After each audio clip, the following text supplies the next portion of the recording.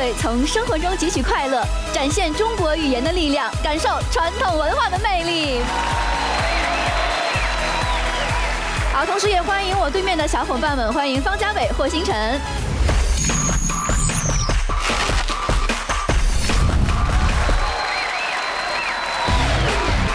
王春阳、周培岩，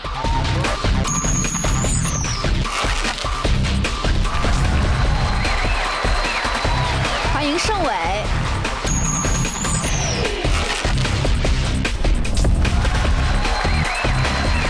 再次掌声的欢迎大家。那今天我们会用喜剧的方式打开怎样的话题呢？谢谢大家啊！今天我们聊这话题叫做个明白人啊。呃，其实生活当中每个人都得做个明白人啊，特别像我，人称求的明白，啊，什么都得明白。为什么得明白呢？你像像我这个年纪就有小孩了，这教育孩子你就必须得明白，因为什么？这孩子经常会问一些刁钻的问题，你答不上来特尴尬。啊，你像我那闺女乔小乐上小学一年级，前两天我带她去超市，这孩子眼睛经常就发现问题，啊，一眼就发现了，说爸爸，你看。这个卫生间为什么有男卫生间、女卫生间，还有一个卫生间呢？这你就得明白，你给他解释。我说闺女，你看这叫第三卫生间啊。这比如说你像爸爸带着你，对吧？要去卫生间就得去这第三卫生间。哦，孩子明白了，一看到卫生间就去一趟吧。进去之后，我们闺女又发现问题了，说爸爸这有一苍蝇，这苍蝇怎么还一直这俩腿在那搓呢？你看这就是知识啊！马上我给他解释。我宝宝，我告诉你啊，这个苍蝇啊，你看它为什么能落在玻璃上啊？这么滑，它怎么落住的？它这个腿啊会分泌粘液，它就能落在玻璃上。但这个粘液呢，时间长了沾脏东西，影响它飞行，所以它这一搓呢，把它搓干净了，继续就能飞了。哦，又明白了。这个去完卫生间洗手吧，一洗手，他又发现问题了，说爸爸，你看这个自动的这个水龙头怎么几秒钟它就断了呀？我说这个啊。这个八成是这个人家这超市啊，想省水，打算节约，他把这龙头就调的比较敏感啊，所以几秒就断了。你遇到这种龙头，有一个解决的方法，就是你洗两下，你把手抽回来，哎，这搓两下，你把手抽回来，再搓两下，再把手收回来。这时候我女儿把眼睛瞪得跟包子一样，爸爸，我觉得你现在就像个苍蝇，这什么孩子这是？哎呀，看来我这个明白人啊，这个明白也没用对地方。不过今天我们要请到这位嘉宾，那绝对是一个明白人，做人做事儿都是明明白白的。有请我们今天的嘉宾，著名演员孙桂田老师，有请。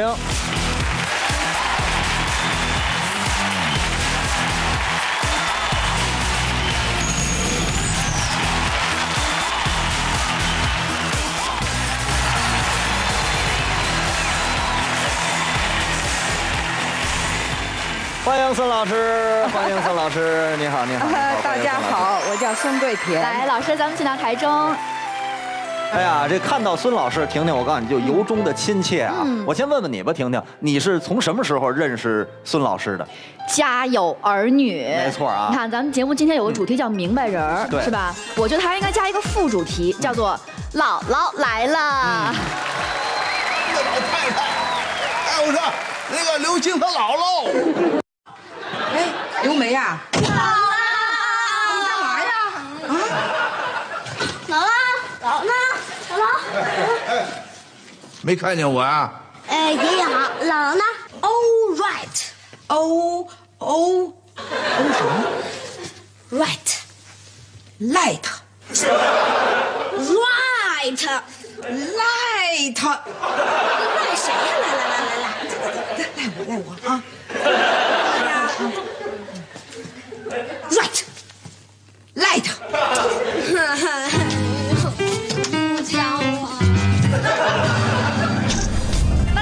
那你是在哪部剧认识孙老师了？哎呀，你看你是家有儿女，那你要说我从哪儿认识的这个孙老师呢？其实我是从一部这个电影啊，当年电影叫《甲方乙方》，这就是我二舅家。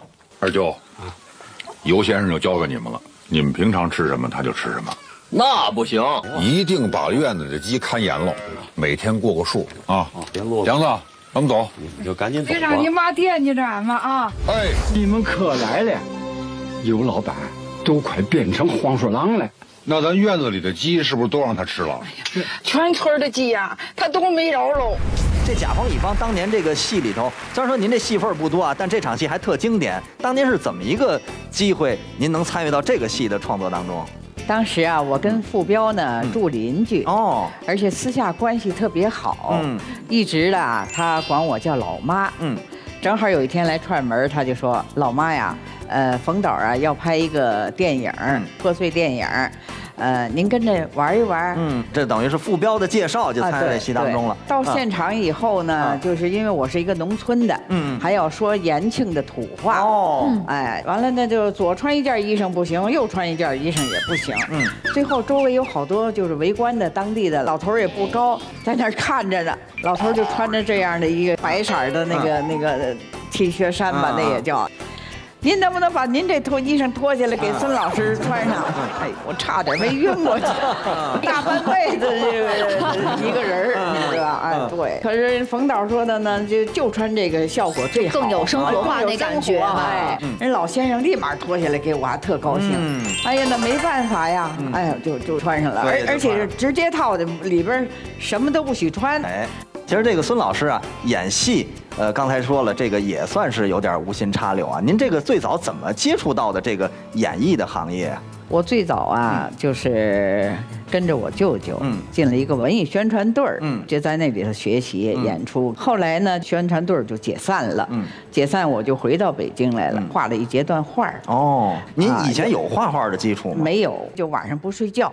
要一张样子，嗯这一宿慢慢琢磨着画。我当时为什么苦啊？我还背着个孩子，你一放下他就哭，他就醒了，我得背着他这画。太难了你知道吧？嗯所以说的，那那这晚上呢，肯定挺辛苦的吧。晚上反正一般的都三点钟以后睡觉吧。哎呦喂，对那您当时就就是在那么苦的情况下，就真的能完全完成他们交给您的任务吗？你你不完成，嗯孩子大人都吃什么呀？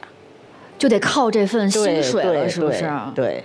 那那有过就是他们觉得您啊，我觉得您画的这个不行，这薪水我没法给您结，碰到过这种难题啊，不行，我非常小心的。我就说人家能给我这个活儿啊，我不能把人这个卷给人糟蹋了，所以我特别特别的用功。我我不画好了，这个时候就感觉到是一个母亲在当年那会儿吃了很多很多的苦，为什么？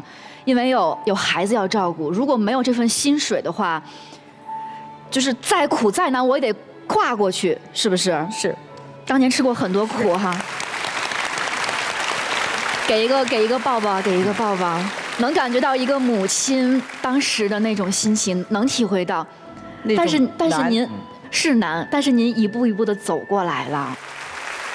后来有转机，也是因为我会画画嘛，我等于是当了一个小经理，嗯啊，呃，干了二年，我才知道，哎，我为什么不能自己开商店呢？嗯。我就骑着个自行车去去找门脸儿去，嗯。就这么着谈了几家，有五家都同意了，嗯。最后呢，我就选定这个东四隆福寺，嗯。我们就把一扇墙给拆了，几乎都是自个儿干。嗯。你知道啊，找找三轮车拉砖弄什么的，拉拉渣土，嗯。抹墙，嗯。刷灰。呃，这这个就柜台呢是让人家帮着给钉好了，嗯。木头呢我是好几家找来的，这家找一木头板儿，那家找一木头棍儿，你知道啊凑的柜台，嗯，哎，也就是说，其实是东拼西凑，啊东拼西凑，很省成本，很省，跟人借了两千块钱，两千块钱。啊，好朋友的好朋友，嗯。那个人还不认识，嗯。借了我两千块钱，哦。我把摩托车压在人家那儿，嗯。那摩托车两千九买的，哦我说要是还不起你的话，这摩托车车就归你了了啊，哦对，就这么着，这么着把这小买卖做起来了。小买卖。我就没想到第二天呢，我这屋子就挤不动人了哎呀，一下子就都是年轻人呐，哎呀，第二天这么快呀哎呀，就是，所以说我当就卖出好多去。嗯当天晚上我就记得他住德胜门外的一个酒店，嗯我就赶紧骑着自行车给人送钱去了。摩托车不压那儿了吗？嗯嗯这，哎，给人送钱去 您。交代的还挺明白，摩托车压的没错儿，一下就干起来了。这后面的应该就算是慢慢积累出来的第一桶金了，是不对是？。对，卡片赚不了多少钱，嗯但是呢，踏实。人要知足。嗯，今天啊，跟孙老师聊了这么多，我们现场的这个五位相声演员听得也津津有味，应该说。对孙老师印象也都特别深，应该也都是大家童年时的这个姥姥的形象啊。上来跟姥姥近距离接触，咱们做一个小互动，好不好？好，我们有请五位相声演员来。对，这个要跟姥姥进行一个小小的互动啊，也是对你们的一个小考验啊。来，婷婷介绍一下规则吧。哎，大家是喜剧演员，是相声演员，那肯定对经典的这些相声小品段子特别熟悉了，是不是？哎下面呢，咱们就请姥姥啊说一些这个经典的小品的这些作品当中的经典台词。她说上一句，你们每个人要接一下下一句，然后呢再说一下是哪部作品里面的。其实难度名字得说出来哎哎，难度其实还是挺高的。，我觉得这个对于这个小芳其实难度是更大啊，因为小芳岁数太小了，是吧？啊，你接触的最早的小品应该是哪一年的？呃，零零零六零七吧。太好了，你几乎完美的躲过了我们的题。行吧，这个考验一下大家对于这个经典的小品喜剧有没有很深入的了解啊？那这个姥姥准备好给他们出题了吗？好了，好，那咱们就正式开始第一题。俺叫魏淑芬儿，今年二十二二二十几啊？今年今今俺叫魏淑芬。你的状态带情绪不是情绪。俺叫哎，等会儿再滴滴。俺俺叫魏淑芬嗯，今年女。啊女，今年二二十五二十八呀，是二十七呀？嗯。啊啊这啊这还有至今未婚。啊，好，基本上对了，但是有有一点误差啊，有一点误差。这叫什么名字？这小品这叫懒汉相亲，我这算错了行了行了行了。看了个好头啊，下面可能会增加一点点难度了啊。下面要更严格了啊，下面就一个字都不能差了啊。嗯你至今未婚，这不好弄了。这直接滴滴吧，这啊 你是我我至今单身，你答得出来，答不出来就换政委。我不一定。你是什么？我至今单身，我至今单身。好，至今单身不对。政委就是你告诉他的，那个我也不知道。你老公，嗯，我我也是单身。我下去了，我。你至今单身，我光棍一根。哎，好，漂亮。怎么你你看过这个？这就碰见高人了。小品名字 懒汉相亲。好，非常好啊。这个，这有，一个双一百分儿的我觉得这个小霍是非常好的。这个小霍啊，本身现在已经考上研究生了啊。哎是你看这学习好的人，他就是记忆力好啊。嗨，我觉得这一轮的比赛，我觉得应该表现最优异的，应该算是小霍了，是不是？好，掌声送给小霍啊！好，我们刚刚这个互动啊，特别的开心啊。接下来跟姥姥得汇报，我们还有更开心的环节，就是要一块来听相声了啊。这刚刚啊，这个小霍表现的最好，所以第一段相声的机会我们就交给周培岩了啊。哎，我以为惊不奖惊喜，意不意外？意外。舞台交给王重阳、周培炎。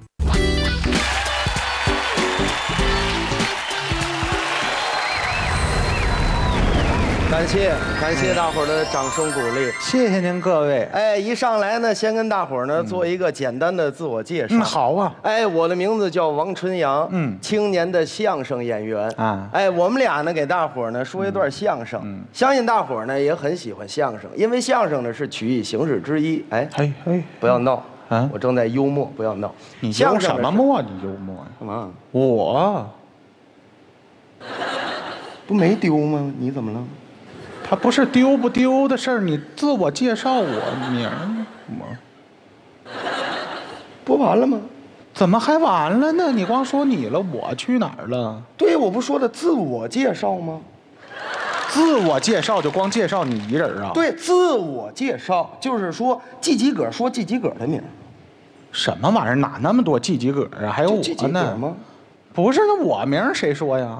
我怎么还得说你名儿啊？那人家别人不做自我介绍的时候都说完自个儿名儿，然后说搭档名儿吗？那你跟他们说去，我这不跟你说呢吗？你跟我说，你得按我的来呀、不是我按不按你这来，你得说我名儿啊。你想让大伙儿知道，你就自己说了不完了吗？对吗？我的名不也是我自己说的吗？行行行，你没嘴呀、你自己说不了吗？能，你要想让大伙知道，你就说了，不就完了吗？我知道。对不对啊行你就说你名儿，我知道了，我说呀你。知道你说呀，我知我这不说呢吗？说呀，我说呀那。你说呀，说呀，说呀，说呀，说你名儿说呀，我张得开嘴吗？张不开嘴呢。你怎么话那么多呢？你我这不正说呢吗那你就？赶紧说呀！我知道啊说名儿那么费劲，你就说不就完了吗？大伙儿都等着说呀，这不要介绍说呀，赶紧说，快说呀，说呀，等着你说呀，说呀，说你名儿，赶紧说呀，说呀，说呀，接着说，说说你名儿，快说呀，说呀，说呀，说呀，说呀，说你名儿，赶紧说呀，说呀，说呀，说呀，说呀，你是没日子说了吧你呀、什么叫没日子说？我这不正说呢吗？正说你就赶紧说嘛，你在这犹豫什么？你是不是把你自己名儿忘了？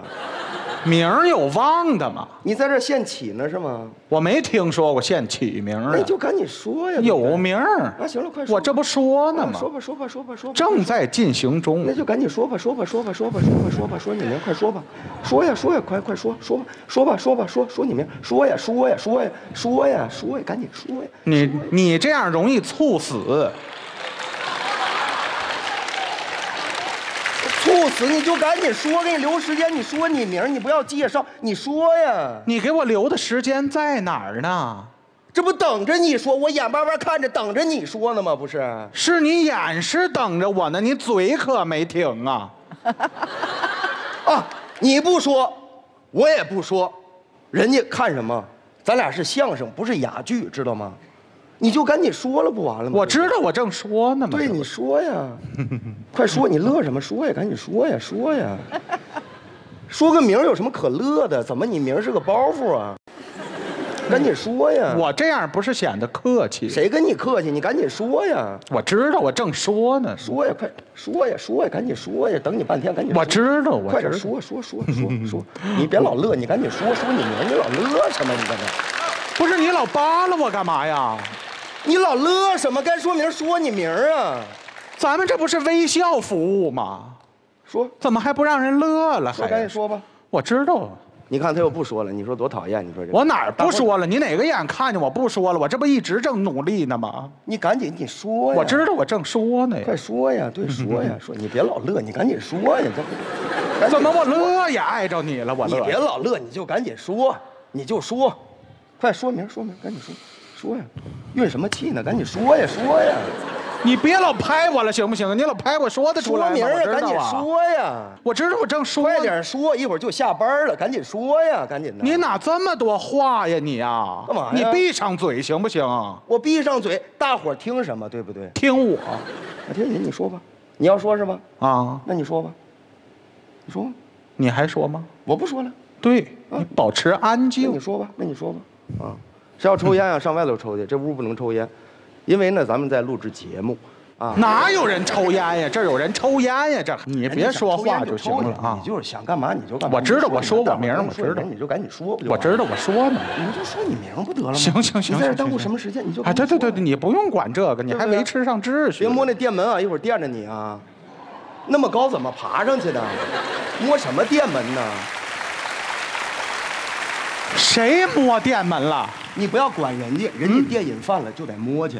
怎么还有电瘾呢？你名瘾犯了，你就赶紧说，你就说你名，我帮你维持一下秩序。我用你，你电瘾犯了，你摸去吧，你去吧，行了，行了啊，还不用我了，你摸去吧，好心当驴肝肺。行了，行了电死你！行了，行了，行了，那行了，不用我了。行了什么就行舞台交给你了。我跟你说，你就是故意的。你我跟你说，这块儿也交给你了，你多厉害呀！能说自个儿名了，你说吧，你跟大伙儿说。我还没说出来呢关键你多棒，你太棒了！来，你说吧，你说明白，你最棒了！哎呀，真了不得！呸，说吧，说吧，说吧，哎，回回回回回来！说吧。这是什么态度？这是啊？什么玩意儿？还给我呸一下子？你你不要说你名儿，你说说吧。我知道我说呀，懂你的说你这人你就是故意的，我跟你说，王春阳，打一上来你就故意，你不让大伙儿知道我叫什么我要是我说我要按你那么介绍，你也说不上来。谁说的？我说的呀，谁说我说不上来啊？我介绍一回你也说不上来，我要说得上来呢，那咱试试啊。来一回啊！大家好啊，我叫王春阳，很复杂吗？来说吧，自个儿说吧，说，交给你了，说，我不说了，你说，说，你告诉我店门在哪儿呢？啊？你什么意思？说你名，说说你闭上你的嘴，我早就说了，我就说说，我叫你快说吧，你这磨叽，赶紧说呀！你少说点话，我没这么磨叽。我叫周培岩，好，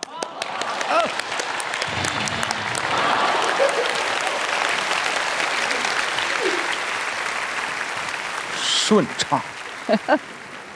知道为什么不介绍你吗？为什么？我跟你说，你就不惜的介绍你，知道吗？我怎么了？你什么都不明白，往这儿一站，你说相声，你说你明白吗？我怎么不明白呀？我你这工作都是我给你找的，你没我这么明白的人，你能说了相声吗？我说不了，我说脱口秀去。说的明白吗？不得我教你吗？你教我什么了呀？你甭说工作啊，就生活点点滴滴啊。你要不是遇上我，我这么明白一个人，天天的跟你说，教给你，你都活不到现在，你知道吗？那怎么着呀？我得死去啊！我得啊！你教我什么了呀？哎哎哎，啊？你这就丧良心了。怎么了？你没我，你说你活得明白吗？天天，我挺明白的。我就问问你啊，啊，没我，嗯，你能搞上对象吗？不能，没我，你能结婚吗？不能，没我，你能有孩子吗？不能。对跟你有什么关系啊？跟你？你别老着急行不行？怎么我还不着急呢？我还没我你怎么能有孩子呢？没我你搞不上对象，你结不了婚，你上哪儿有孩子去啊？是是你介绍的，是，对不对？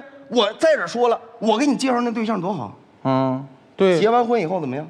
婚前是挺好，嗯，婚后出点小问题。什么问题？他说我不浪漫，说我情商低。哎，嗯，哎，你早找我呀！找你干嘛呀？我明白呀，你明白管嘛用？他不明白呀。我教给你呀，你教给我，我教给你呀。教我什么呀？为什么说你不浪漫、情商低？啊，你不会说话，我这不说不少了吗？跟这没关系。啊，你不会哄女孩开心，你知道吗？那怎么哄呢？咱太明白了。啊，今天啊，不光教给你，嗯，我也分享给大伙儿。哟哟哟，要单身的男孩分享一下，啊，你说说怎么哄女孩开心啊？啊，咱就说一件事儿，是什么事儿？比方说，嗯，这女孩说她肚子疼，哦，你怎么回答？喝点热水，烫死你！温乎的。你先尝尝那行吗？红糖水，这浪漫吗？那怎么着呀？换我就不这么说，那您怎么说呢咱？高情商。你再问我回，我假装是你对象啊，对你问我啊，嗯老公，嗯，我肚子疼别闹，啊，你那么瘦哪有肚子？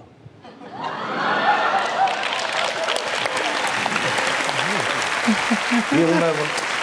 高级，明白懂了吗？明白了，明白了，懂了吗？我这情商是低。这要高情商啊。会说话。哦，当然啊啊，我教完你，你是明白了。嗯，活学活用，啊啊，我知道，也得分事儿分情况。怎么？我这个也交给过盛伟，啊，就他。哎，那个好朋友，哦。交给过他。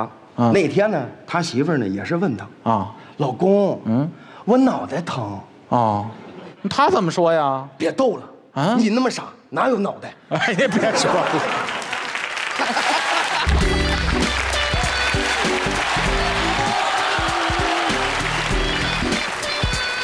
您坐，您坐。我看这个孙老师听你们这相声时一直在笑啊，说的非常好。嗯，就这么简单的内容，嗯，俩人能说这么长时间，嗯而且还让你特别的爱听，嗯，这就是功夫。哎，这个瘦高条啊，啊春阳你这碎嘴子唠叨，嗯哎，这唠 唠叨的还挺好。那个呢是闷葫芦，绝，说的都非常好，俩人搭配的特别好。嗯，演戏是非常不容易的，再怎么练功，上头有角儿压着，你就永远站丫鬟。盛伟最近一直在研究脱口秀啊，想明白点什么了吗？脱口秀确实不可乐。俩人情侣吵架，就说话不合适了，女孩生气了，哼，你为什么不给我的 P Y Q 点赞啊？啊，都是我不好，D B Q D B Q D B Q。我就跟听天书似的。我考考大家，比如像这个 ZQSG 是什么意思？NSDD 呢？QY 勾 S 呢？这这一排一般要不起，反正什么还还要不起？那您给我具体说说，我怎么才能火呀？那收费标准可高啊！我跟你说，小伙子啊，你要有什么不明白的，你就直接问我。小的咱们说市井百科，哟，大的那核聚变啊，运算公式，您只要给我个手机，我都能给你查出来。本栏目由三合一新方法养护骨关节、营养五谷比例赞助播出。